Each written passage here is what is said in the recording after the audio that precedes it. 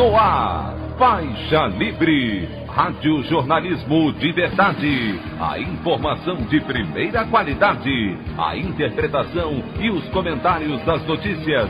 Entrevistas. O Contraditório.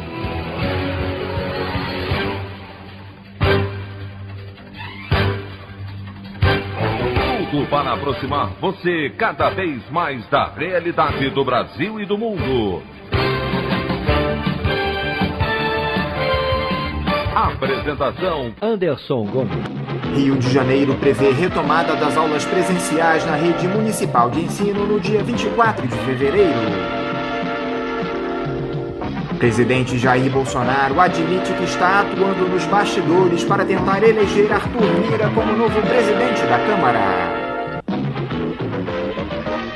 Co-vereadora da bancada feminista do PSOL em São Paulo, Carol Yara, sofre atentado a tiros na madrugada de terça, em mais um episódio de violência política no país. Essas e outras notícias na edição desta quinta-feira, 28 de janeiro do ano de 2021, do programa Faixa Livre.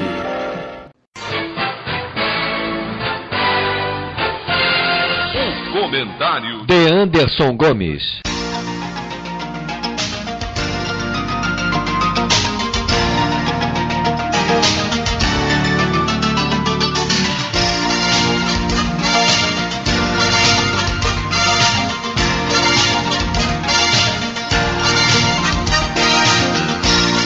Bom dia, ouvintes.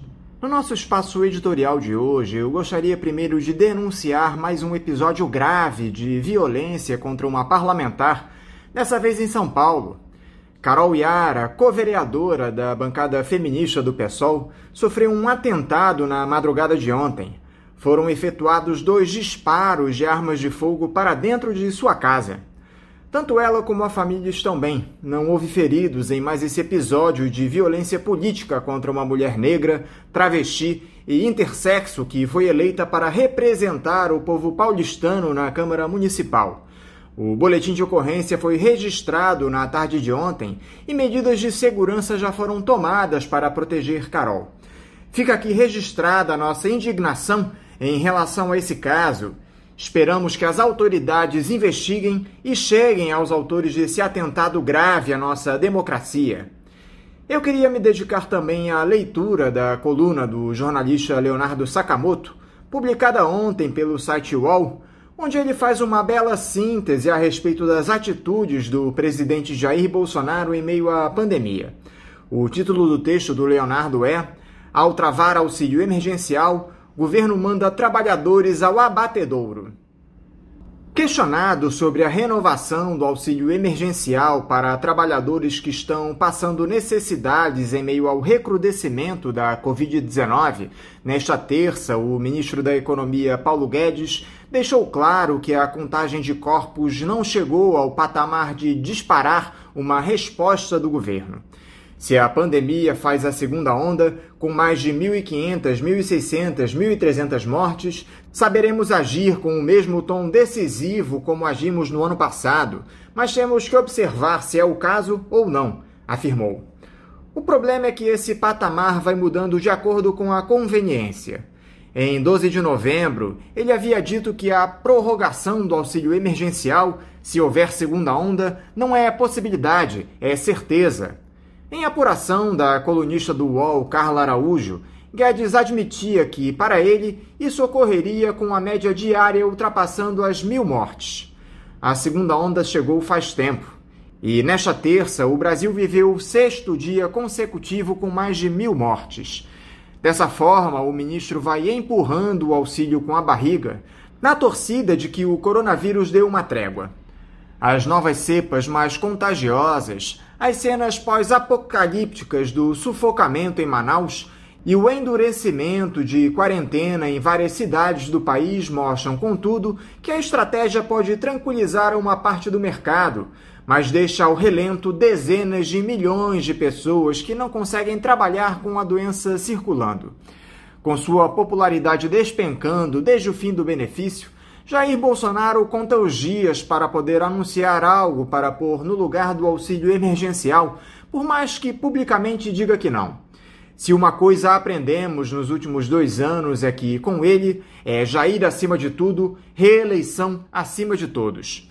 No Ministério da Economia, discute-se um montante de 200 jujubas de auxílio mensal, próximo ao que é pago, em média, aos beneficiários do Bolsa Família, e o mesmo valor que Guedes queria destinar para manter trabalhadores durante a pandemia.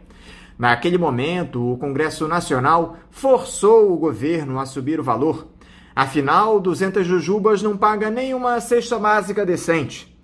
Seria um bom momento para discutir uma mudança no teto de gastos, autorizando a cobrança de um imposto sobre a renda dos super ricos para bancar a continuidade do auxílio emergencial, ou seja, para garantir que o governo use nova fonte de renda para uma nova despesa. Acalme-se, você que parcelou o seu Renegade não é super rico, apesar de não raro acreditar que é. Mas pelo jeito, isso segue distante. Falando em um evento de um banco nesta terça, Guedes disse que a opinião pública brasileira está saturada de impostos, tem impostos demais, é um manicômio tributário. Temos que fazer essa reforma e ela tem que ser simplificadora. Ela não pode ser um aumento de impostos. Sim, o sistema tributário precisa ser simplificado, mas faz-se necessário corrigir uma loucura histórica. A classe média está saturada de impostos. Os amigos super ricos do ministro não. E deveriam ajudar a custear a crise e a retomada. Guedes, contudo, pensa em outra saída. Quer criar o auxílio emergencial de novo? Tem que ter muito cuidado. Pensa bastante, porque se fizer isso, não pode ter aumento automático de verbas para educação, para segurança pública, porque a prioridade passou a ser absoluta para o auxílio, disse ele soltinho, soltinho, no mesmo evento. Deixa transparecer seu antigo projeto de desvincular as receitas da União acabando com as obrigações constitucionais de investimento mínimo em educação e saúde. Usa a renovação do auxílio como balão de ensaio para tanto. Considerando que os principais beneficiários de serviços públicos não são os mais ricos, uma proposta como significa, na prática, tirar dos pobres para dar aos paupérrimos, exatamente aquilo que Jair Bolsonaro disse que não faria. Mesmo em recesso, congressistas estão discutindo a necessidade de aprovar mais um decreto de calamidade pública para retomar o pagamento do auxílio emergencial sem estourar o teto dos gastos. Parlamentares da oposição têm defendido a manutenção do benefício no valor original de 600 reais para os trabalhadores informais e R$ 1.200 para as famílias monoparentais chefiadas por mulheres. O tema entra definitivamente na pauta após a eleição para as presidências da Câmara e do Senado, marcadas para a próxima semana. Sob qualquer medida, o ultrajante número de mortos deveria ter colocado o governo em marcha. Pessoas continuam indo às ruas porque precisam trabalhar.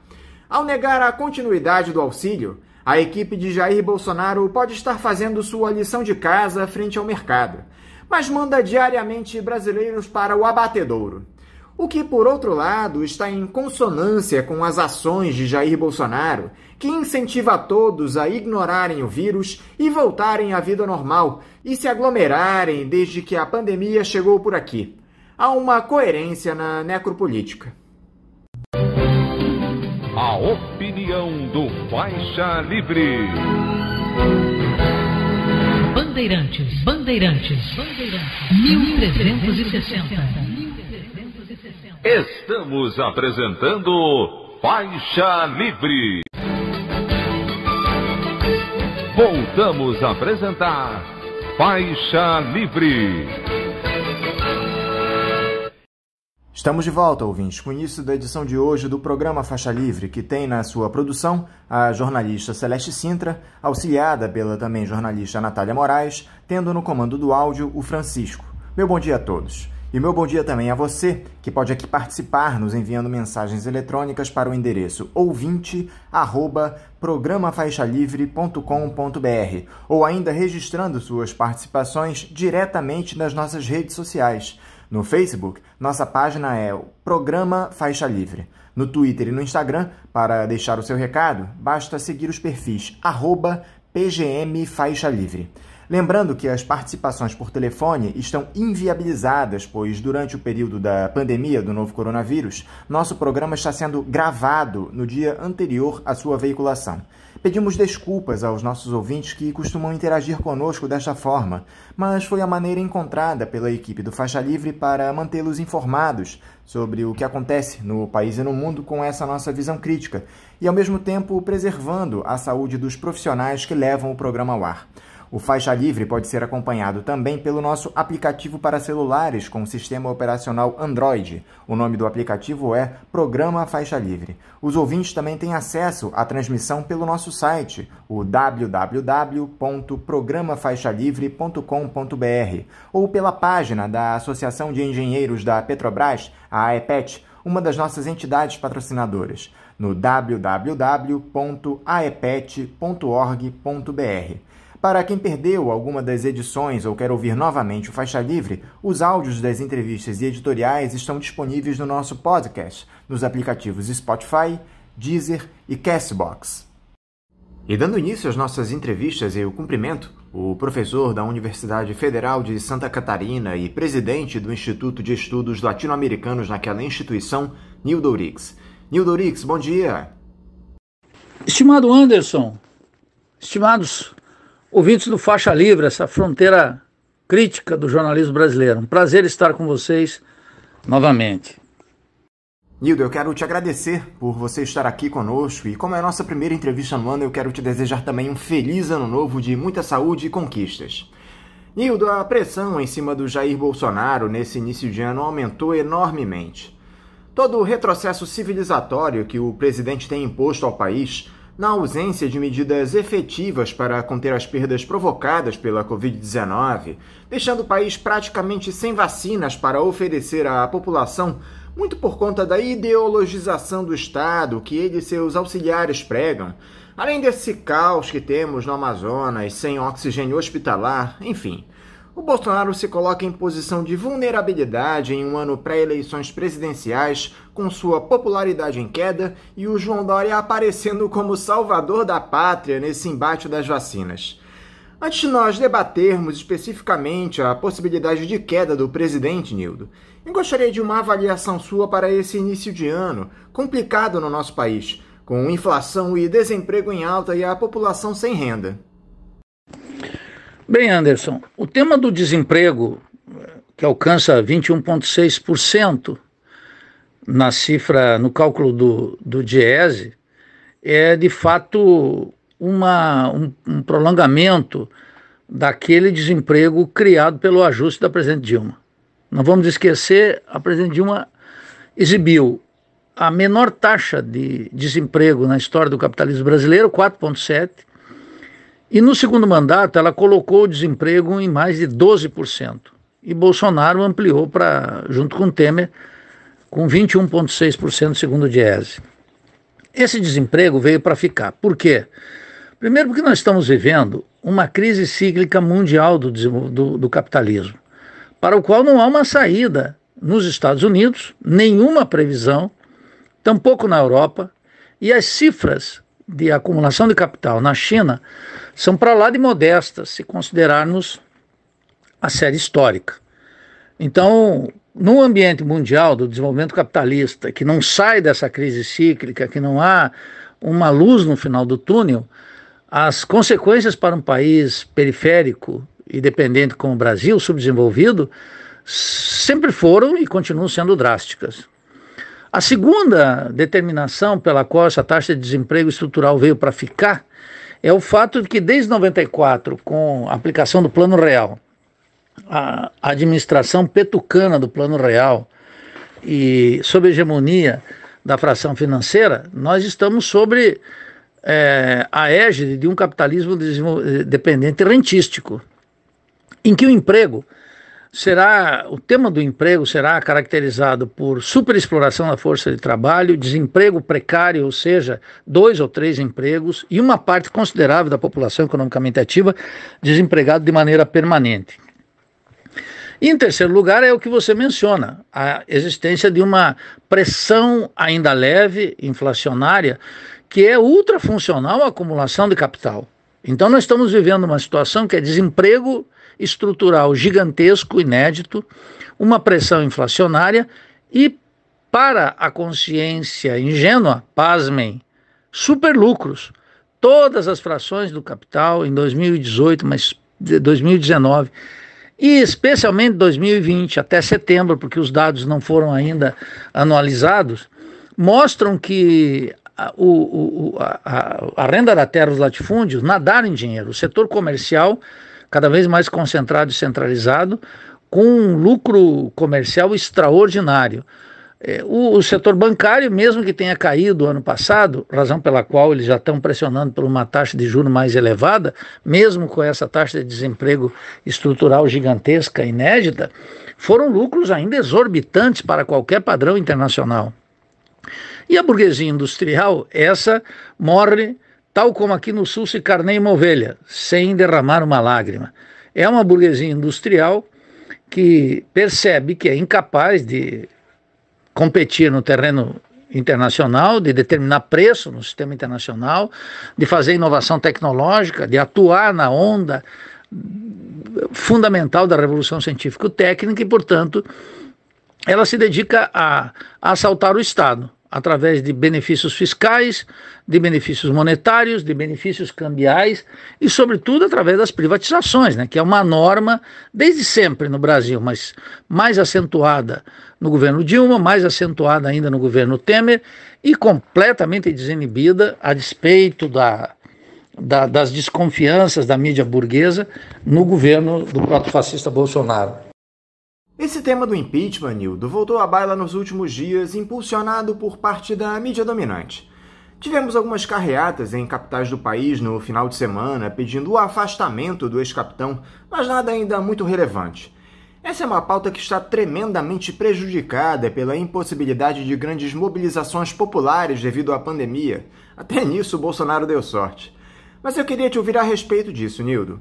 Ainda que esteja longe de ser uma solução para os nossos problemas, já que o Bolsonaro e o Mourão atendem à mesma agenda, você acredita na possibilidade de impeachment, dadas as condições que estão colocadas, especialmente com os ganhos que o capital hegemônico tem amealhado nos últimos tempos? Carreatas, meu caro Anderson, não movem moinho.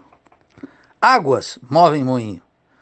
Vamos voltar ao elementar. Sem mobilização de massa, mas sem uma política de recusa diante da crise do sistema político, a esquerda não vai renascer no Brasil. Qual é o problema? O problema central é uma combinação de fatores. Primeiro, os ganhos extraordinariamente acentuados, como eu mencionei na resposta anterior, de todas as frações do capital. Para ela pautar o impeachment agora seria um problema. Por quê? Porque poderia dar à esquerda liberal a possibilidade de ganhar nas ruas. Essa é a questão. A grande mídia, monopólica, a CNN, a Globo, todos eles, eles criticam o Bolsonaro e poupam Paulo Guedes. De tal maneira que protegem os superlucros, consolidam o desemprego, a superexploração, a miséria e o abismo social para as maiorias e chantageiam o governo no sentido que ele tem que apressar cada vez mais aquelas chamadas reformas, que é aumentar os subsídios, dar todos os tipos de benefícios através da política fiscal, cambiária e monetária, entregar o patrimônio público para acumulação privada, abrir espaços que na saúde e educação para acumulação privada, alinhar a política externa com os Estados Unidos, com Biden ou com Trump, não importa, a questão é servir de cachorro ao imperialismo, que é esse governo faz, de tal maneira que é muito difícil que a burguesia paute, agende nesse momento é, o impeachment é, de Bolsonaro. Agora, outra questão é que, com ou sem impeachment, a crise do sistema político que nós temos é completa. A burguesia já decidiu que pode adotar uma modalidade particular nacional de é, Estado policial. Nesse contexto, a figura de, de Mourão não pode ser descartada, porque num eventual impeachment, que eu diria hoje, sem nenhuma possibilidade, quero afirmar, hoje, janeiro de 2021, não há a menor possibilidade de o impeachment avançar, na minha avaliação, mas em caso no futuro dessa possibilidade se tornar real, ocorreria algo decisivo. Mourão é um homem dos militares e ele poderia encabeçar, numa aparência constitucional, lançar mão da lei antiterrorista, de todos os mecanismos aplicados e aprovados do governo Temer e, eventualmente, de novos instrumentos de repressão e de segurança do Estado burguês, que tornariam um paraíso ainda maior para as multinacionais, para, o, para a coesão burguesa que nos dirige e para setores de classe média que estão iludidos com um bordão é, de progresso e ordem entre nós. Na ausência absoluta de uma referência crítica no interior da esquerda. Esse é um problema grave, que talvez turbine eventualmente a possibilidade da burguesia avançar para o impeachment. A certeza de que na oposição encontrará, de maneira dominante, o bom mocismo, aqueles que querem, em última instância, salvar a República Burguesa apodrecida atuar nos marcos constitucionais de uma ordem que não tem respeito da maioria do nosso povo, ao contrário, tem um rechaço rotundo da maioria do nosso povo e que, portanto, não merece a credibilidade popular. Eis a encruzilhada histórica em que estamos metidos. Nesse debate do impeachment, Nildo, me parece que só haverá um impulso mais decisivo pela queda do Bolsonaro caso o presidente não consiga levar à frente a agenda de reformas do grande capital. Inclusive, houve a publicação de dois manifestos recentemente por setores do empresariado exigindo a revisão das regras tributárias, um rearranjo do serviço público. Os executivos da Ford, que estão de saída do país, reclamaram do tal custo Brasil. As condições para o impeachment passam longe do anseio popular. Elas se colocam de acordo com o atendimento às demandas do andar de cima. Só que com esse parlamento que nós temos, entre baleias e liras, quem se dá mal é o povo brasileiro, Nildo. Bem, Anderson, a definição entre baleia roça e lira é verdadeiramente espantosa. Espantosa no seguinte sentido: que exista na esquerda liberal, que inclusive envolve setores do meu partido, mas deu uma tremenda divisão no petismo, 27 a 23, que comove Ciro e o PDT, todos esses políticos que estão aí se pavoneando para pegar a presidência com o silêncio cúmplice de outros que não querem tocar no assunto para não se queimar, é verdadeiramente espantoso que alguns vejam alguma diferença entre Lira e Baleia Rossi. Eu poderia aqui recordar um velho verso de um cubano, não é lo mismo, Pérez igual. Não é lo mismo, Pérez igual. Essa é a questão essencial. A esquerda liberal quer chafurdar nessa lama e vai se confundindo cada vez mais com tudo que soa ruim para o povo. O povo não está preocupado em quem é o presidente da Câmara. Nós sabemos da importância disso. O povo tem nojo de tudo isso. O povo não aprova isso aí, inclusive setores de classe média detestam tudo isso que está acontecendo, mas alimentam ilusões de que um bom moço chegue aqui com um programinha keynesiano para distribuir riqueza e renda, para restituir as virtudes republicanas, para ter bons hábitos na presidência. Esse mundo ruiu. As pessoas têm que entender isso, porque é uma questão de, isso sim, de vida ou morte. Então, é, essa divisão não tem a menor importância para efeito de um impeachment. De resto, Anderson, basta ler os jornais, né? Os dois candidatos rejeitam de maneira veemente a possibilidade de pautar o impeachment. Nenhum considera que é hora para isso. E eles expressam nesse sentido a posição da burguesia hegemônica, como você disse. Parece que o Bolsonaro entendeu o recado dado pelo capital hegemônico, Nildo, e já alinhou o seu discurso ao do Paulo Guedes, em defesa das reformas, das privatizações, do teto de gastos. O próprio Posto Ipiranga condicionou a retomada do auxílio emergencial a um congelamento de verbas para educação, segurança pública e funcionalismo. E não só isso, Nildo. Sob o argumento de que tenhamos uma retomada mais acelerada da economia, o presidente institucionalizou o fura-fila nessa vacinação contra a Covid-19, permitindo que as empresas adquiram por conta própria doses dos imunizantes já disponíveis no mercado, negociando com as próprias farmacêuticas. E o nosso judiciário segue calado. Como é que você analisa esse tipo de iniciativa, Nildo? Bem, Anderson, o Brasil se caracteriza por uma enorme concentração da riqueza e da propriedade. A consciência ingênua afirma que é um problema de distribuição de renda e que é possível, mesmo nos marcos do capitalismo dependente, distribuir renda. Ora, isso não é possível. Se for possível, é por um curto espaço de tempo, dependendo do que? Do ciclo de acumulação mundial. Fora disso, é a ingenuidade ou patifaria que os economistas que querem ocupar o Ministério da Fazenda e o Banco Central divulgam todos os dias para dourar a pílula e tornar é, a digestão moral da pobreza algo aceitável entre nós. Mas não é aceitável. O Brasil é marcado por um privilégio de classe sem precedentes na América Latina.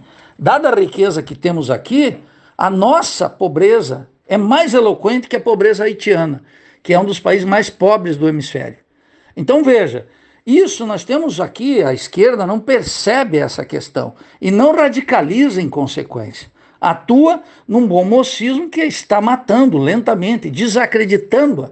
Essa é uma questão essencial da vida política brasileira. Ora, num país em que tudo é um privilégio de classe, ou seja, a boa educação é um privilégio de classe, porque a burguesia manda seus filhos lá para fora ou em alguns colégios e universidades privadas.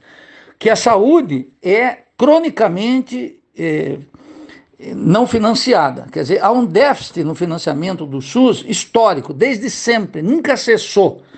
E, portanto, a boa saúde e a medicina de alta complexidade, etc., é reservada à burguesia brasileira, em que o acesso à cultura é também algo que está marcado por um gritante exclusivismo burguês que deixa as classes populares submetidos ao consumo do lixo da indústria cultural metropolitana e de sua imitação periférica de quinta categoria. Por que nesse contexto o acesso à vacina também não estaria marcado, Anderson, pelo privilégio de classe e o fato de que o governo autoriza e eu diria incentiva que grupos privados é, com comprem no mercado mundial, é, com o beneplácito do governo, com o apoio do governo, vacina para cobrar preços exorbitantes, dados para quem? Dado para a classe dominante, porque pobre e trabalhador, sem terra, etc., não vai poder acessar essa vacina.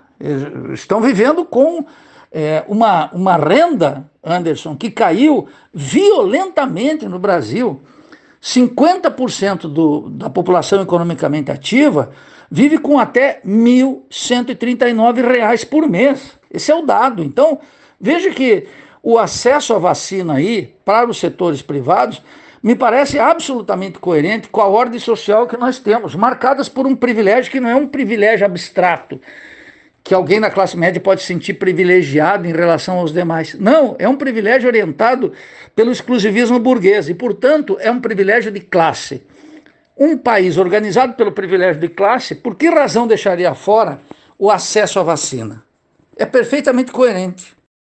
Eu queria ouvir a sua análise também, Nildo, para essa saída do cargo do presidente da Eletrobras, Wilson Ferreira Júnior, um dos principais entusiastas da privatização da estatal. A mídia dominante chegou a dizer que esse movimento simbolizaria o fim do liberalismo no governo Bolsonaro, uma verdadeira pataquada. O que, é que representa, na sua opinião, Nildo, o pedido de demissão do Wilson Ferreira Júnior? Anderson, a mídia, os monopólios de comunicação, isso que o pensamento liberal chama a liberdade de imprensa, que é a liberdade de os capitalistas manufaturarem a opinião pública no país, razão pela qual eu não defendo a liberdade de imprensa, eu denuncio a liberdade de imprensa, estão em uníssono defendendo o assalto ao Estado. Eu repito, política fiscal, política monetária e política cambial, bem longe da atenção pública, transferem todos os dias bilhões e bilhões de reais para a classe dominante. E essa mídia também tem um compromisso, desde que a burguesia brasileira, lá em 1977, lançou o famoso manifesto contra o gigantismo estatal e pressionando pela democratização, porque sabia concretamente que na democracia poderia assaltar o Estado com muito mais força do que fez durante a ditadura, a mídia atua em favor da privatização. Não importa que Wilson Ferreira tenha saído, como tantos outros, denunciando a lentidão. De fato, o que está ocorrendo nesses dias é a cobrança da mídia que Bolsonaro avance com mais rapidez nas privatizações. Ele tem feito privatizações. Quero observar duas coisas. Em primeiro lugar, seria bom que o ouvinte observasse a quantidade de privatizações, por exemplo, no setor da Petrobras, vendendo subsidiárias, etc., fatiando a empresa de maneira violenta. Não importa que um setor era menos produtivo, porque na atual política tudo pode se tornar inviável por decisão do, dos governantes e por decisão de Bolsonaro e Paulo Guedes. Então não importa que Wilson Ferreira saia, o que importa é que Bolsonaro, sempre que emparedado pela mídia e pelo aquele covil de ladrões dirigido por Maia, ele acelera no sentido do, das reformas defendidas pela burguesia e continuam, basicamente, assaltando o Estado, roubando o Estado, com preços que serão privatizados abaixo da linha de mercado mínimo, vendendo setores que sabidamente são suculentos a despeito das variações dos preços internacionais e dando para a burguesia setores estratégicos dentro da acumulação rentística. Eu acho que esse é, é, é esse é a, a, o, a crônica dos que se desiludem ou aqueles que pensam que as privatizações não estão ocorrendo no Brasil. Eu citei lá atrás, Nildo, essa disputa pela presidência da Câmara, uma parte da esquerda apoiando a candidatura do Baleia Rossi, alguns parlamentares, por incrível que pareça, votando na surdina no bolsonarista Arthur Lira, ambos dois lados da mesma moeda. E temos também a candidatura da deputada Luísa Erundina, do seu partido, PSOL. Nós conversamos com ela essa semana aqui no programa e a deputada ficou boa parte do tempo na defensiva por conta das pressões que ela vem recebendo para que desista da candidatura, definida pelo Diretório Nacional do partido. Nós também entrevistamos o Juliano Medeiros, que defendeu o lançamento da chapa da Luiz Erundina, citando a necessidade de se debater temas como as reformas, as privatizações e um próprio, o próprio impeachment do Bolsonaro. Eu gostaria, Nildo, que você falasse sobre essas eleições tanto na Câmara como no Senado, seu diagnóstico para essa candidatura da deputada Luiz Erundina e como se deu esse debate dentro do PSOL. Bem, Anderson, a deputada Luiz Erundina tem meu total e restrito apoio. Porém, há algo fundamental a ser discutido aqui. A divisão na bancada do PSOL expressa os dilemas de um partido que ainda se ilude decisivamente com a possibilidade de resolver os problemas da soberania, da miséria do nosso povo, das questões sociais mais eloquentes, mais sentidas, dentro da ordem burguesa e dentro do atual sistema político. Isso é impossível. Nós estamos indo para o buraco, eu tenho alertado aqui nos últimos dois anos, e cada vez com maior aceleração. Então, é claro que nesse contexto, o partido teria que assinalar um comportamento parlamentar distinto, entre os quais lançar uma candidatura própria, que vai ocupar lá 10 minutos na tribuna denunciando essa maracutaia, denunciando o covil de ladrões, denunciando o assalto ao Estado, denunciando todos os crimes do governo e da ordem burguesa. Por isso a candidatura de Luiz Erundina é importante, mas veja, mais importante ainda é no segundo turno das eleições, se ocorrer, como tudo está indicando, se nenhum dos dois canalhas que estão aí disputando, né, Lira e Baleia Rossi, eu já escrevi vários artigos sobre isso, é, cabe o que ao PSOL? O PSOL tem que ter uma renúncia de não votar em nenhum desses dois representantes clássicos do covil de ladrões, deputados ambos de São Paulo, que têm origem no latifúndio, estão ultra articulados com a fração financeira. Essa ideia de que nós teríamos que, numa segunda votação, estar orientados pela derrota parlamentar de Bolsonaro, significa que ao votar num candidato que é também representante do latifúndio, também da fração financeira e também da coesão burguesa, faz com que o PSOL alimente todas e cada uma das ilusões nefastas que nós temos que combater. E coloca o partido, portanto, nessa confusão, chafurdando no mesmo terreno que o PT, que o PDT, que o PSB, que o Democratas, que o MDB, que o PSL, que o PR, todos esses partidos que representam a podridão da República Burguesa. Caberia ao PSOL, portanto, lançar e ter os 10 votos, pelo menos na nossa bancada, na deputada Erundina e no segundo turno, e é essa a questão essencial, se recusar a participar. Fazer isso como um ato de lucidez elementar. Atuar não na ilusão de minimizar danos, de redução de danos, que é um cinismo do parlamentarismo burguês, do cretinismo parlamentar mais rebaixado. E o PSOL não pode entrar nessa. Se entrar nessa de votar no segundo turno, no candidato supostamente menos ruim, estará comprometendo uma vez mais a possibilidade de se constituir como uma referência crítica na vida social e no parlamento. Será um verdadeiro escândalo que eu já antecipo aqui minha completa reprovação e o equívoco que é resultado de uma linha consciente marcado pela hegemonia que tem no partido, que é de liberal de esquerda. Lamento dizer isso, mas essa é a minha profunda convicção. É um liberalismo de esquerda. Pensa que nós podemos restaurar as virtudes republicanas de uma república apodrecida? Pensa que nós podemos distribuir renda e riqueza no interior do capitalismo? Pensa que nós podemos ter soberania diante do imperialismo e dos Estados Unidos mais agressivo de, com Biden do que foi com Trump? Nos marcos da ordem burguesa. Esse é o dilema histórico do PSOL. Outros partidos, como o PT, já fracassaram nisso há muito tempo e receberam a devida repúdia do nosso povo. O repúdio do nosso povo. Esse é o dilema do PSOL. Saberá elucidá-lo? Hoje devo confessar meu pessimismo. Você acha que esse imbróglio em torno da candidatura da Erundina pode de alguma forma enfraquecer a bancada do partido na Câmara, Nildo?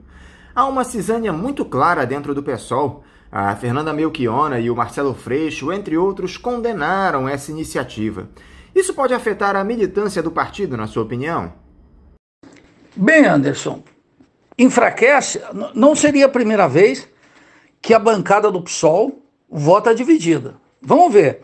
Um pacote tão criminoso como aquele de Sérgio Moro, o office boy dos Estados Unidos aqui, recebeu o voto de Marcelo Freixo e Fernanda Melchiona, sob o argumento de que conseguiram minimizar danos. Ora, essa mesma conduta está sendo repetida agora, também por Marcelo Freixo e também por Fernanda Melchiona. Bom, não só eles, Davi Miranda, Sâmia, todos eles eh, que estão conformando essa, esse empate, digamos, técnico eh, na bancada do PSOL, atuam nessa toada hoje de redução de danos. Isso é verdadeiramente espantoso que ocorra com gente tão experimentada e lustra. Você vê que a confusão política habita a cabeça até mesmo daqueles que deveriam ter duas moléculas de lucidez nesse momento. Portanto, eu manifesto aqui minha mais absoluta contrariedade.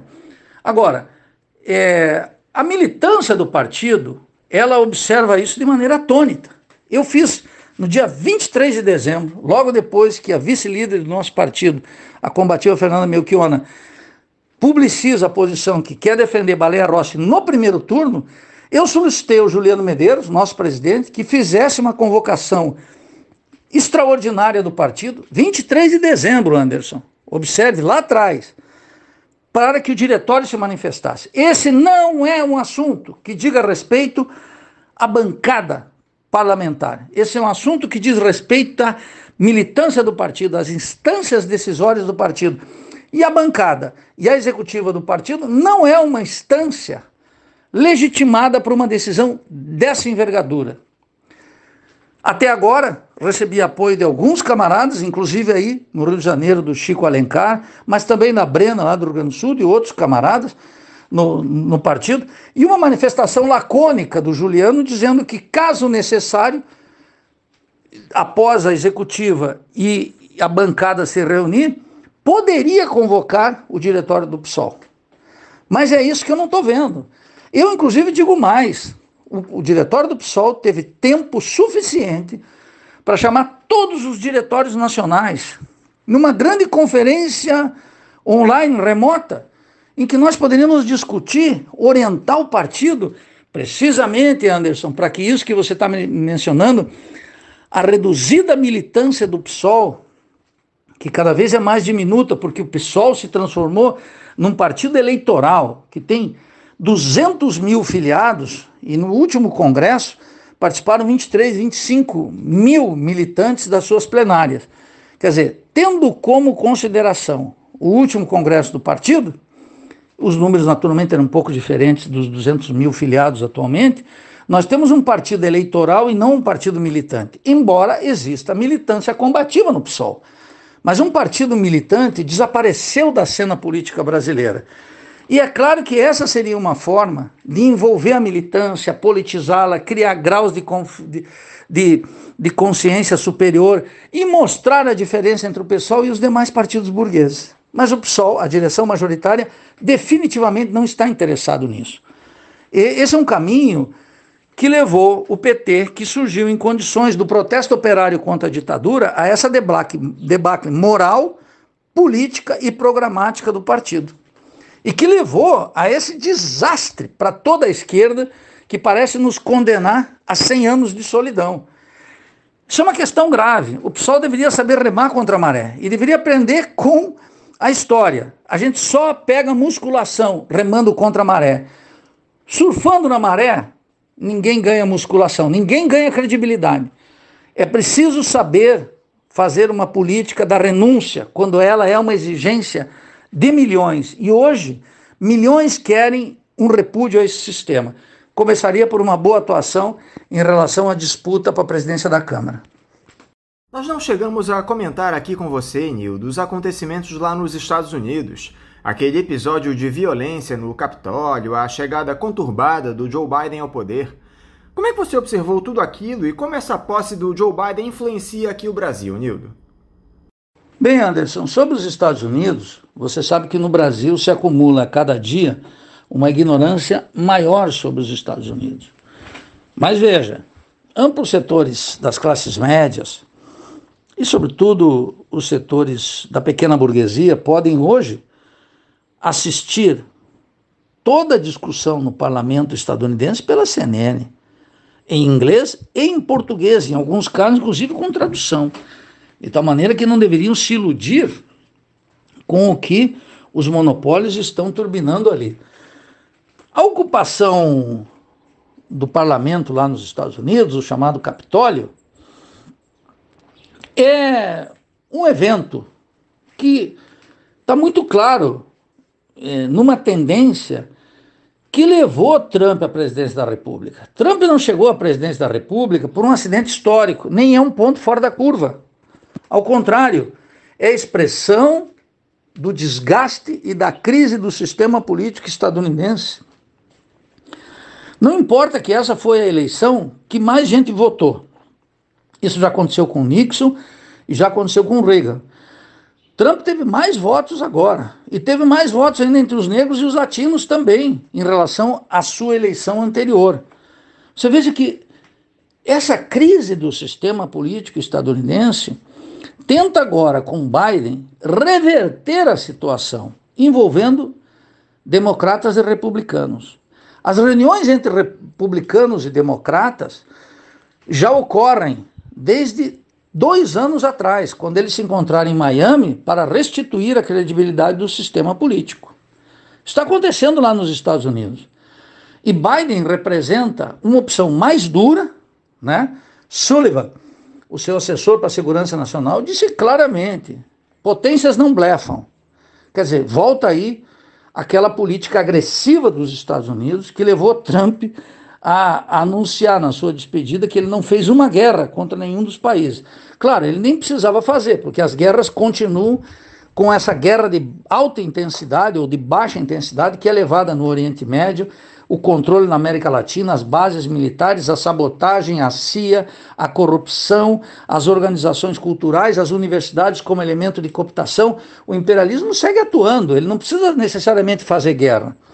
Mas é claro que o complexo industrial militar e todos esses setores mais duros se organizaram em torno de Biden. Biden fez uma aliança gigantesca dentro dos Estados Unidos que alcançou importantes setores do Partido Republicano. É preciso entender isso. Biden não é só um candidatinho velho, experimentado nas lutas parlamentares, senador de um estado muito pequenininho, vinculado intimamente ao capital financeiro. Biden é o representante de uma aliança gigantesca que só do Partido Democrata, só do Partido Republicano pega todos os setores do movimento negro, dos latinos, das mulheres que pensam alguma solução dentro da ordem e o exclusivismo dos Estados Unidos para manter o que eles chamam a liberdade e os mercados em favor da potência imperialista. Biden é isso, não é um bom moço. É uma ação imperialista retomada com força, na intenção de reconstituir o sistema político dentro dos Estados Unidos. Então, aqueles que pensam que nós podemos representar aqui, eu vi, né? parlamentares do meu partido, dirigentes, considerar que a vitória do Biden era a vitória da civilização contra a barbárie. Isso é, uma, é, é verdadeiramente espantoso, Anderson, que tenha gente que pense que é melhor para nós o Biden do que o Trump. Esquecem os crimes do Partido Democrata em toda a América Latina, a começar pela invasão da Baía dos, dos Porcos, sob a administração do simpático John Fitzgerald Kennedy. E as, a ignorância sobre os Estados Unidos, a política exterior, leva as pessoas a igualarem Trump com Bolsonaro e Biden com alguém da oposição liberal de esquerda. Isso não se sustenta em dois minutos de debate. São ilusões que não cabem mais entre nós, que nos matam. Nildo, 2021 é um ano de enorme importância para o país. Não apenas pela necessidade de superação da pandemia, mas também por ser um ano pré-eleições presidenciais. Você costuma dizer que não há qualquer alternativa para o país dentro da institucionalidade. O que pode ser feito, Nildo, pelas nossas esquerdas para que tenhamos alguma esperança de mudança desse cenário desastroso que temos visto? Bem, Anderson, essa sua última questão mereceria um programa inteiro. Veja, não há uma fórmula mágica. O que nós precisamos entender é um: não há solução dentro do sistema. A direita já entendeu e todos os seus passos atuam nessa direção. Segundo, a crise econômica e a emergência do capitalismo dependente rentístico veio para ficar entre nós. Portanto, desemprego estrutural elevado, tensões inflacionárias que acumulam capital e corroem a, o, o poder de compra dos assalariados e a superexploração com precarização, acidentes de trabalho, tudo que a gente já convive no Brasil, veio para ficar também. Então, à esquerda, cabe indicar um processo de ruptura e avançar no que eu chamo a Revolução Brasileira. Não há uma fórmula, mas nós precisamos nos dedicar a essa tarefa, no terreno intelectual e no terreno da praxis política. Se questões tão elementares como uma renúncia em votar em dois candidatos vinculados à fração financeira, dois políticos deploráveis, canalhas do ponto de vista moral, comprometidos da, da hora que acordam à hora que dormem, inclusive quando sonham com os interesses burgueses, merece a consideração de um partido como redução de danos, é porque não estamos pensando fora da, do, do, do espaço delimitado pela consciência burguesa dominante. Então a esquerda precisa se dedicar a pensar a Revolução Brasileira e atuar em consequência. Se não agendar a Revolução Brasileira e as tarefas imensas que existem no terreno da teoria, da praxis, da atuação sindical, orientando os movimentos populares, orientando as classes subalternas numa política de renúncia contra a ordem burguesa, nós não vamos senão colaborar com o imenso desastre que está se avizinhando no Brasil a passos largos uma modalidade específica de terrorismo de Estado, cuja semelhança eu indico há muitos, muito tempo já aqui no Faixa Livre, pode ser o regime que nós temos na Colômbia. Então, duas moléculas de lucidez e fazer aquilo que está ao alcance das nossas mãos. Não adianta nos colocarmos tarefas hoje, como falar para as multidões, se não é possível. Agora, imediatamente é preciso abandonar essa concepção parlamentar de política. A política não pode estar reduzida à reprovação moral ou aprovação moral, e menos ainda às eleições. Cabe à esquerda enfrentar esse desafio. Isso abre um novo capítulo de discussão que naturalmente não pode ser feito aqui.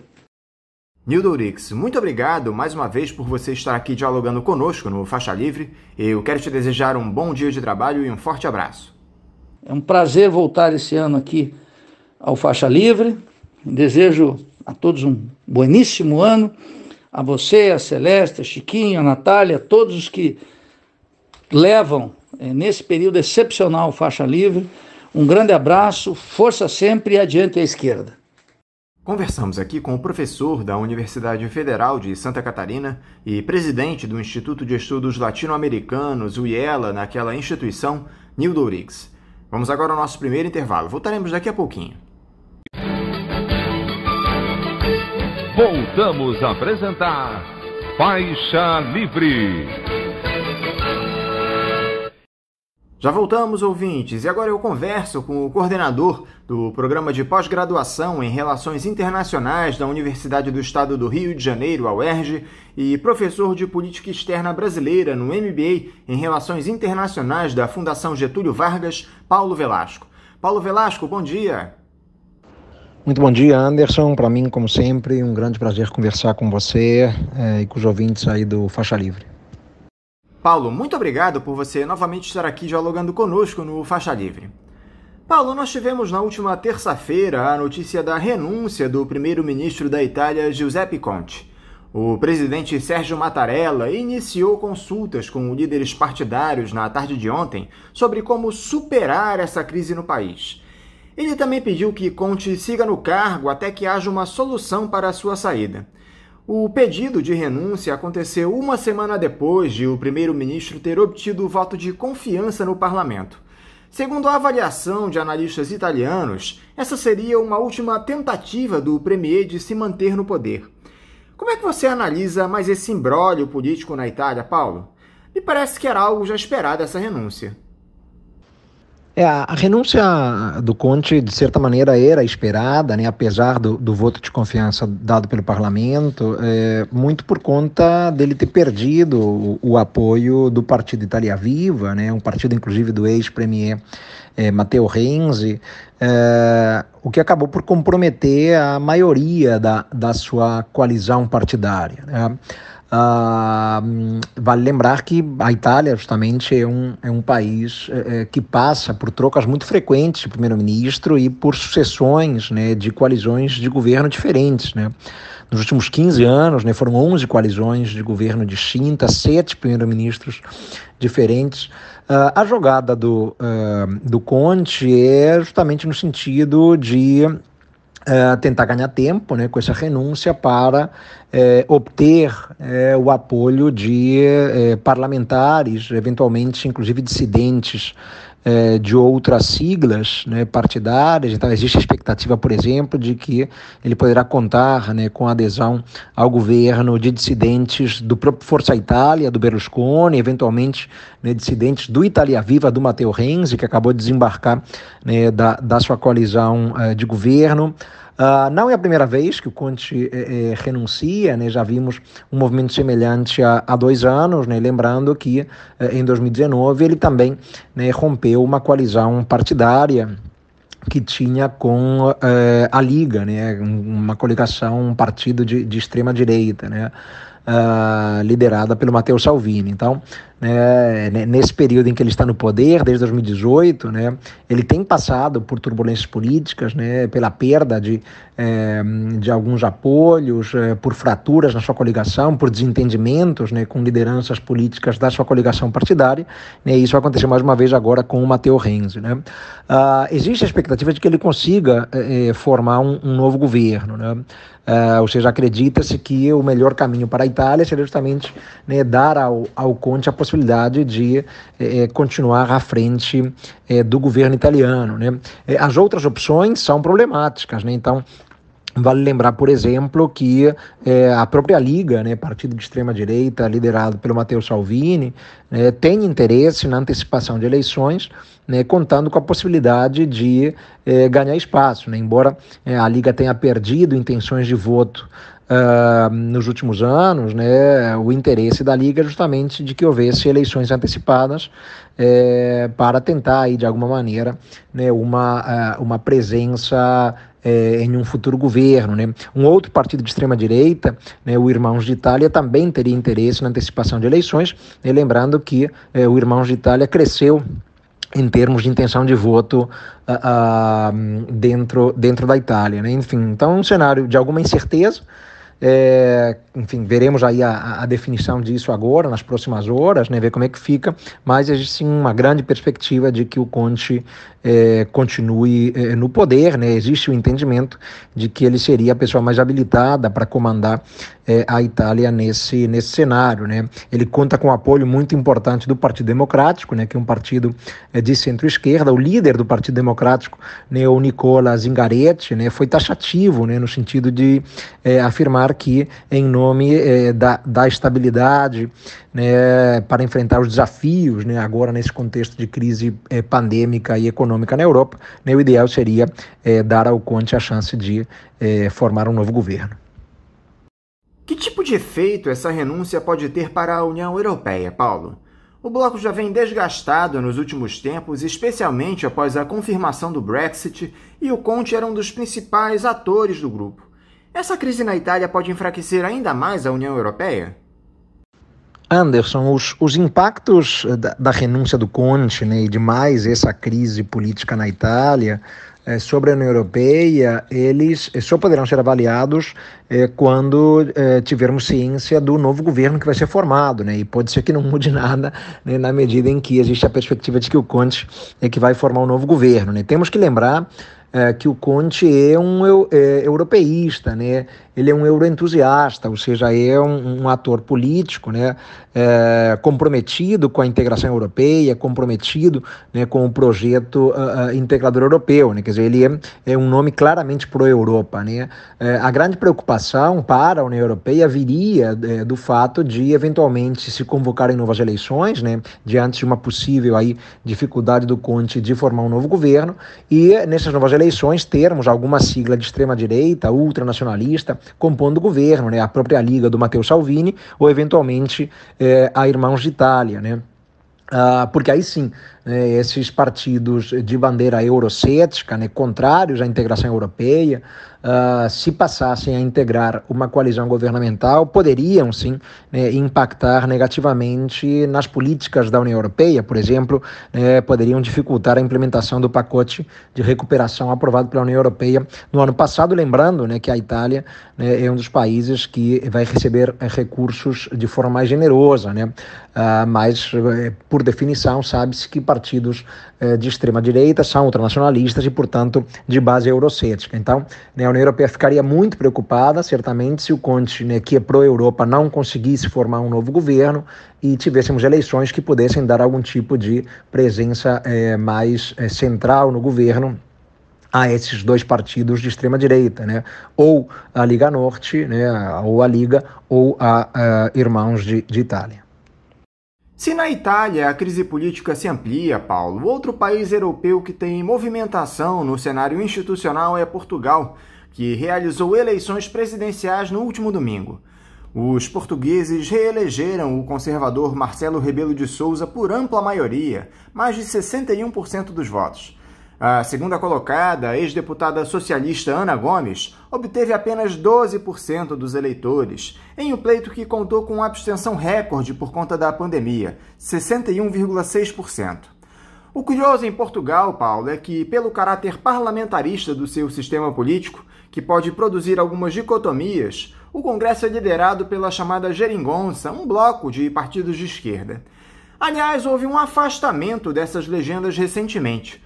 Os portugueses exaltam a liderança e a governabilidade que o Marcelo Rebelo tem dado ao país ao longo dos últimos anos. Mas eu queria saber de você, Paulo, o que representa essa reeleição com ampla maioria do presidente português? Bom, acho que o principal ponto, Anderson, da, da vitória de Marcelo Rebelo, né, é que ela valida a continuidade de uma aliança entre a presidência dele né, e o governo socialista eh, do Antônio Costa no combate à pandemia eh, e à crise sanitária. Né? Ah, houve uma estratégia muito lúcida do Partido Socialista eh, do primeiro-ministro de não lançar candidato nas eleições presidenciais né, e de endossar né, o nome de, de Rebelo. Uh, porque isso evidentemente evitou né, que as eleições presidenciais eh, elas acabassem eh, colocando o governo sob escrutínio. Né? a candidata independente, né, Ana Gomes, que já foi militante do PS, né, ela é, não concorreu né, com o apoio do seu antigo partido, né, ela concorreu justamente como independente. Então, né, acho que, que podemos concluir que a expectativa em Portugal né, é de que continue funcionando essa, essa articulação. Uh, o Rebelo tem força política, evidentemente, né, e, uh, bom, contou muito diretamente com o apoio uh, do, do, Partido Social Democrata, que é o grande eh, opositor ao Partido Socialista, Uh, mas o PS, eh, eu interpreto de maneira muito clara, ele saiu também bastante eh, vitorioso ao não lançar candidato, ao endossar o nome do Rebelo, né, em um contexto eh, eleitoral em que eh, os partidos de esquerda que compunham a geringonça, né, que vigorou, como você bem lembrou aí, durante alguns anos, entre 2015 e 2019, né, eh, o Bloco de Esquerda uh, e o Partido Comunista Português tiveram resultados muito ruins. Né, tanto o Bloco de Esquerda esquerda quanto o Partido eh, Comunista Português tiveram derrotas históricas, né? Justamente eh, os partidos mais à esquerda que compunham a, a geringonça e que eh, já eh, abandonaram o governo de, de Antônio Costa. Né? Então, ah, claramente, acho que a, o indicativo das eleições da vitória do Rebelo é que haverá uma continuidade dessa aliança entre a presidência e, e o governo, o que naturalmente é importante em nome da, da estabilidade, para tentar garantir alguma credibilidade né, ao país nesse contexto eh, tão difícil que vivemos. O que mais me preocupa nesse resultado em Portugal, Paulo, mais até que as dissidências do bloco da esquerda, é o crescimento da extrema-direita, fenômeno que acontece em boa parte do mundo. O candidato André Ventura, uma espécie de Jair Bolsonaro português e que dizia querer esmagar a esquerda, obteve 11,9% dos votos, terminando na terceira colocação. Dá para nós analisarmos esse resultado como mais um revés dessa retórica autoritária no mundo, Paulo? Qual é a sua análise para essa votação do André Ventura? É, a, a votação expressiva do, do partido Chega, né, partido de, de extrema-direita, do, do André Ventura, preocupa, né, justamente porque é, não tínhamos né, em, em, Portugal uma, uma extrema-direita forte. Né? Ele era o único deputado, inclusive, né? ele é o único deputado na legislatura portuguesa, uh, e essa, essa sua, é, esse seu desempenho né, é, muito expressivo nas eleições presidenciais é, trazem a perspectiva de que é, esse partido vai crescer bem né, nas próximas eleições legislativas. Né? É, então, alguns é, já começam a especular né, é, que o, Chega teria algo em torno de 9, 10% dos votos. Né? Lembrando que teve pouco mais de 1% em, em 2019. Né? Então, uh, preocupa sim, né, justamente porque Portugal né, parecia mais blindado e imune a esse avanço da extrema-direita, agora já não está mais.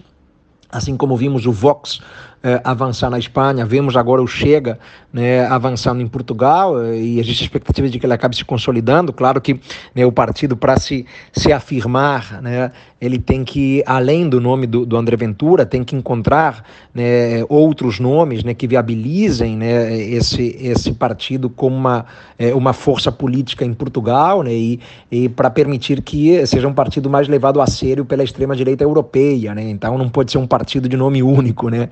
apenas limitado ao é, André Ventura, que já mostrou o seu potencial político né? e o seu peso é, em eleições. Né? É, mas preocupa sim, claro, né? pela, pela bandeira que, que ele representa, Uh, é um impacto grande na política tradicional portuguesa. Né? Eu acho que quem mais perde com o avanço do eh, André Ventura e do, do Partido Chega eh, é justamente o Partido Social Democrata, né? porque fica muito evidente agora né, de que eh, a, a, direita em Portugal é uma direita mais fraturada, ou seja, né, os eleitores mais conservadores eles já não se identificam mais apenas com eh, o PSD, né, eles agora têm uma outra opção, uma opção eh, mais radical, mais à direita, né, e de base populista, inclusive também. Né, então, isso certamente significa um, um enfraquecimento do, do PSD, né, o peso do, uh, do PSD pode se ver né, afetado e impactado aí. Né, e o próprio eh, André Ventura foi taxativo, ele, ele reconhece o potencial do, do, seu partido, o seu próprio potencial político, né, e já deu o recado ao Rui Rio, né, que é o presidente do PSD, né, afirmando que não haverá governo de direita em Portugal sem o Chega. Né? Esse foi o recado que ele deu para o PSD, né, que é o partido conservador tradicional em Portugal, né, afirmando que não haverá um governo de direita possível em, em Portugal sem a participação do, do Chega. Né? Então, Uh, é, é, um rearranjo de forças, né? outros partidos conservadores eles eh, acabam se enfraquecendo, né? como o CDS, né? o Centro Democrático Social, Partido Popular em Portugal, né? e o Chega chega, eh, o Chega chega verdadeiramente, né? ele, ele já se afirma, ele já aparece como uma força política importante à direita e uma direita mais radical, né? como nós comentamos, é claramente uma extrema direita, né? Uh, e vale lembrar, né, que o, o, o, Anto, o André Ventura, né, o, o, che, o Chega, ele ganhou espaço em regiões que inclusive eram dominadas pelo Partido Comunista Português, né? a região do Alentejo, por exemplo. Então, é, é, vemos que, que tanto o Bloco de Esquerda quanto o Partido Comunista Português, né, ao terem entrado é, de alguma maneira no governo com a tal da geringonça, né, que foi essa articulação de partidos de esquerda, deixaram de ser vistos como partidos antissistema, né? É, então, muitos eleitores que optavam pelo bloco de esquerda e pelo PCP né, votavam nesses partidos por enxergarem neles partidos antissistema, né, forças antissistema. É, ao terem composto a geringonça, né, eles perderam esse caráter antissistema, porque entraram, evidentemente, no sistema, né, e isso fez com que alguns eleitores desencantados né, acabassem enxergando né, o, uh, uh, o Chega do André Ventura como a, a nova opção, digamos assim. Né. Enfim, então é um fenômeno que ainda temos que acompanhar, vamos esperar as eleições legislativas para ver como é que ele se desempenha, né, se consegue eleger um número expressivo de, eh, de deputados.